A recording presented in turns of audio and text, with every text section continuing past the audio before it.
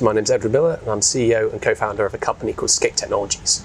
Scape Technologies is a computer vision company based in London and essentially we're building a real-time 3D map of the world that devices can use to understand where they are and what's around them using only a camera. Computing is moving away from these rectangular devices that we've accessed on our mobiles or on our desktops towards computers that exist in the physical world. And that could be uh, driving in a car, that could be flying as a drone, or that could be worn on your head as an augmented reality headset. Now, all of those categories of spatial computing devices have got to know more about their environment than ever before. They've got to know where they are and what's around them, and really that's the core infrastructure that we've been building at Scape Technologies. One of the challenges with augmented reality at the moment is the inability to anchor a piece of content to the world and have other people around it see it at the exact same location.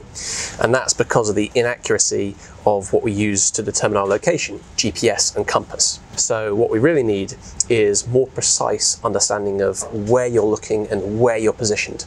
And that's what we've built. We've built a visual positioning system in order to build a visual positioning system, you have to start off with some level of data. And of course, Google have got data. There are other companies like TomTom and Here Maps who've had data. Um, and we had to figure out a way to brute force our way past that chicken and egg problem. And that's why we chose to go out and proactively collect data in over 100 cities around the world.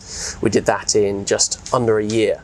Um, now, what we're doing now is we're taking that data that we've collected, we're processing that, we're pushing it through what we call our visual engine. Um, and we're turning that into 3D maps in order to switch on our visual positioning service inside those areas.